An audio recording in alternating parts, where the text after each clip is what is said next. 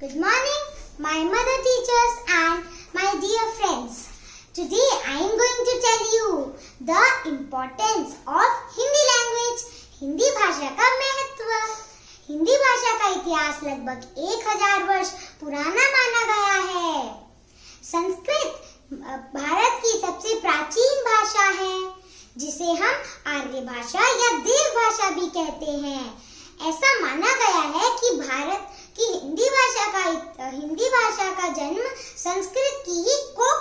हुआ है Bharatendra Harishchandra was the father of modern Hindi literature and Hindi theatre. Due to its vast number of speakers, Hindi is considered as the fourth most spoken language in the world. Behind the languages, Chinese, Spanish and English. In the Constitution of India, Hindi has been declared as an official language in the Union in the article number 343. Hindi Divas is celebrated on 14 September every year और अब मैं आपको एक कविता सुनाने जा रही हूँ जिसका नाम है 14 सितंबर का दिन है कुछ खास तो चलो शुरू करते हैं 14 सितंबर का दिन है कुछ खास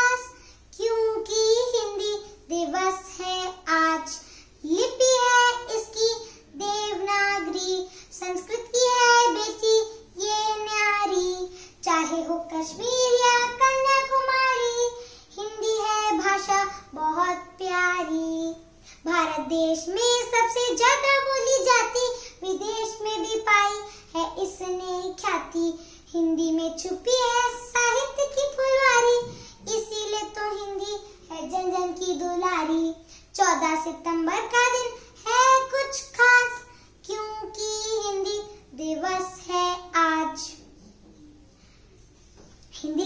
language is a global language and that is why the foreigners show their interest in understanding the rich culture of India and that is why many other countries uh, many other countries made educational centers to encourage Indian languages.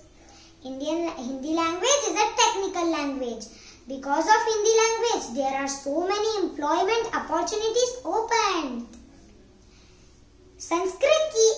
Ladli Beti है ये हिंदी, बहनों को साथ लेकर चलती है ये हिंदी। सुंदर है, मनोरम है, मीठी है, अनूठी है ये हिंदी। भारत माता की माथे की बिंदी, गर्व से कहो, हमारी राजभाषा हिंदी।